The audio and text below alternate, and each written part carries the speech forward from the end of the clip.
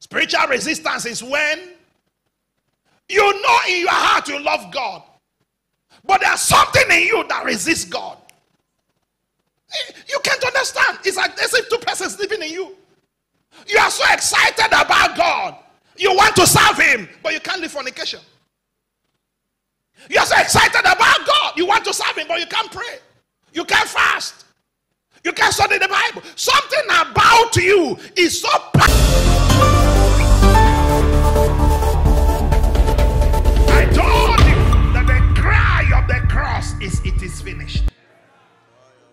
It cannot finish at Calvary and continue in your house. You notice that thing attacking you at 18 and you didn't do anything. Now you are getting married and that's when it comes up. When you notice that bondage and you were having those dreams regularly and it didn't matter. Now in your 40s, you can't get anything together. You never took authority. You just kept acting as if there was nothing. Brothers and sisters, Satan never wakes up and becomes nice. If you don't cast him out, he will cast you down. If you don't cast him out, he will cast you down. If you don't cast him out, he will cast you down. You make the choice.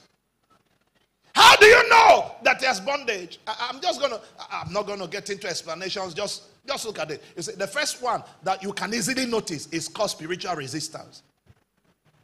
Spiritual resistance is when you know in your heart you love God, but there's something in you that resists God. You can't understand. It's like there's two persons living in you. You are so excited about God.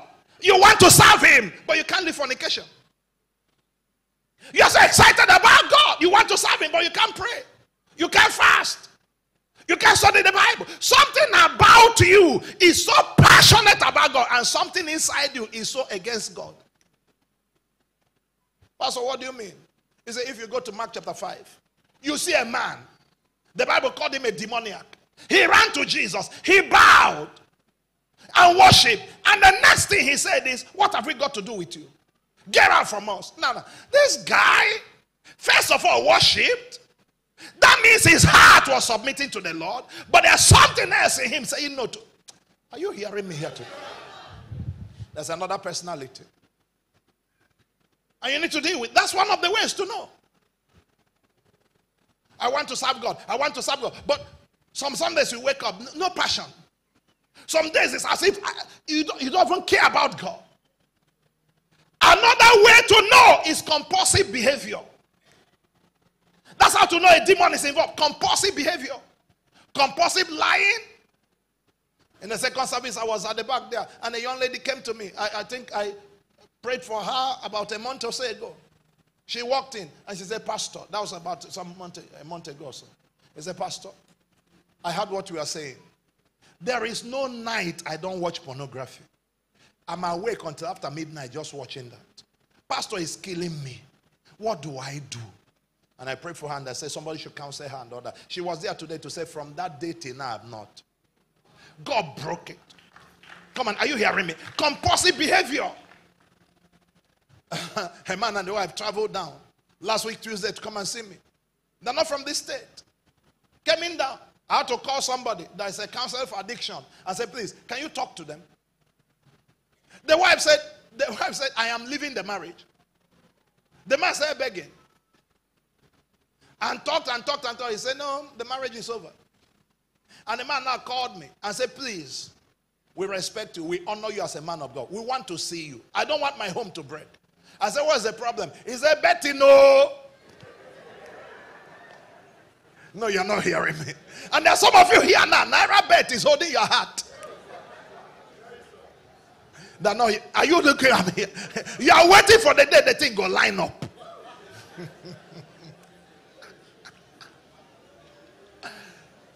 Compulsion. Before they saw me, you see, the week the wife said she was packing up. They wanted to buy a car. They had four million to buy the car. They wanted to just deposit it because they wanted a bigger car. They deposit it and then pay the man later. So they agreed on that and all of that. She left. Within two days, he has bet the four million. No, you didn't hear. Four million is gone. When I told them I can't see them immediately, I said, I, I can only see you next week, Tuesday. Come. From that day, I told them. On the Monday, they are supposed to see me. The man knelt down. He has begged the wife. The wife said, I'm not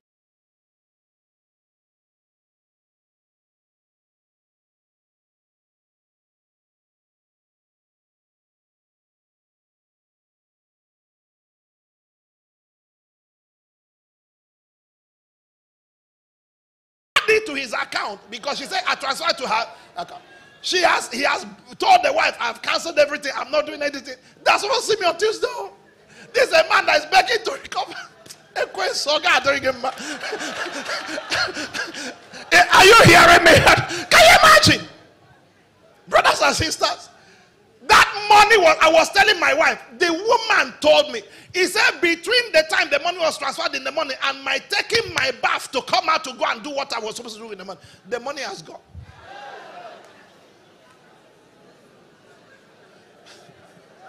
So I told the man, What incentive are you giving me now to ask her to stay? And there's some, some of you are looking at me now, acting as if it's not you. Your own is tramadol. Your own is smoking. Your own is drinking. Your own is one bondage. I come in the name of the Lord. Whatever is holding your destiny, turn you loose in the name of Jesus. Some other people's negative visitations. Their dream is always one funny thing. Somebody is coming to sleep with them. Somebody is coming to attack them. Strange infirmities. Sickness has no cure. No, no definition. I, I, I was talking with somebody just a few minutes ago before coming out. I can't define the sickness. He said, for years we have gone from hospital to hospital. They can't diagnose what is wrong. But they can see it. Brothers and sisters, that is a sign that a demon is involved. That thing moving up and down your body, and you go here, they say scan, go there, they say scan. Brothers and sisters, no microscope can see a Ogbanje. No demon. no, you didn't hear me. No, no, no, no scanning machine can see can see a demon. The way you are looking at me. There's a, uh, have you ever gone to a doctor before and they say, okay, stand there, you stand there. They take the x-ray, cham, and then they say, now, that's it too. that's the spirit of her. They, they can't see it. What is worrying you is not physical. But I lift my hand over you on the authority of the one who died and rose again. I rebuke that yoke in the name of Jesus Christ. All those extensive oppressions, every night they come. They you want to sleep, something is pressing you. Jesus! That's how you wake up. I did church, oh? and I talk to people. Look at me straight. I'm talking to you. You know you are the one. You need deliverance. He said, no, I don't believe in deliverance. you believe in it too. You don't believe it, you need it. You don't believe in paracetamol. Why are you having headache? You need it. Lift your hand. Whatever it is harassing you is leaving you now. Another sign is this destiny obstruction. Everywhere you go, road is blocked. What others do with ease takes you a battle. You can't find help, you can't find mercy. Something is wrong. Father, I lift my hand over them. Let today be the day that answers their question. So then, what is personal deliverance? Personal deliverance is when you make personal effort to enforce your liberty. You don't outsource it to a pastor. You don't sit down and say, Well, let them minister to me. No, you are ministering to yourself. You are fighting and resisting and rebuking until you get free. Isaiah 52, verse 1. It says, Awake, awake. Put on thy strength, O Zion. Put on thy beautiful garments, O Jerusalem, the holy city. For henceforth, there shall no more come into thee the uncircumcised and the unclean. Verse 2 is where I'm going to. Shake thyself from the dust Arise and sit down, O Jerusalem. Loose thyself from the bands on thy neck, O captive daughter of Jerusalem. He said, Lose yourself. Don't wait for lose yourself. Lose yourself. That's what personal deliverance is. That you're not watching life swallow you. You're fighting. Are you here? Uh, are you here? Lose yourself. You refuse to die. You know, hello? Even before we come to help you, start fighting. Lose yourself. Personal deliverance is when the grace in you subdues the forces against you. That's personal deliverance. That you carry grace, so tear in the subdued things around. Are you with me? Ah! There was a man in the Bible. The Bible called him the demoniac of Gadara. This man gathered a legion demons inside him. He was uh, a caretaker of devils. they lived inside him very comfortably. And let me tell you one of the things about him. No bondage could stay in him. The Bible said they bound him with chains. But the things inside him, when they react, chains break. Now, if a man with demons, the reaction breaks the chains physically. You that carry God. Am I talking to somebody here? If you carry enough of grace, they can't put anything on you. I'm sure you heard the Bible verse that says, The yoke shall be broken. Because of what? Because of what? Can I tell you what the original Hebrew said? He said, The yoke shall be broken because your neck is fat. There's an extent to grow yourself, the neck will break, the, the yoke will break. If you have my voice, say yes. I want every one of you here to lift up your hand. In the name that's above every name. Whatever is around you that needs to break, break now.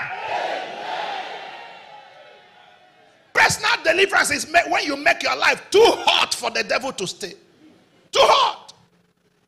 Even if, listen, look up. Even a fly that smoke Igbo will not sit on a pot that is hot. No, you didn't hear me. The fly doesn't need advice. As he's coming, wah, and the hot is pot is hot. What will they do? Even if Satan smoking their hemp, there's a way your life will be on fire. He won't sit down. I'm thinking. Is anybody hearing me? There's a way you carry fire. Satan will sit down. The reason Satan is comfortable is because your life is comfortable. You're a good customer. Charge up yourself. Tell your neighbor, I carry fire. this thing you have, is it a neighbor? I beg, find another neighbor. Tell a neighbor, I carry fire. Shout it loud, I carry fire. Shout it again. I carry fire.